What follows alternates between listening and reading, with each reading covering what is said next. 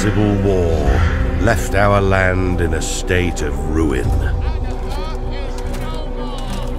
Amidst the dust of Stone's Hill, Phaedrid, steward king of Agatha, was slain.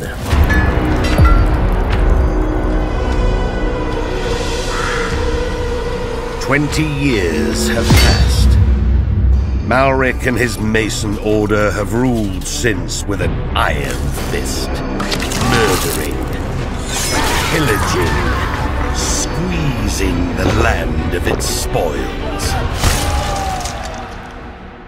Now, with winter, comes the rumor of a new leader, King Argon the Second.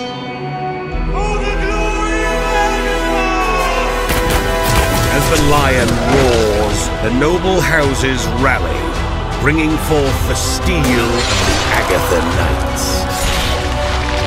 The grizzled old king welcomes the battles to come with the full might of the Mason Order. Once more, legends will be born.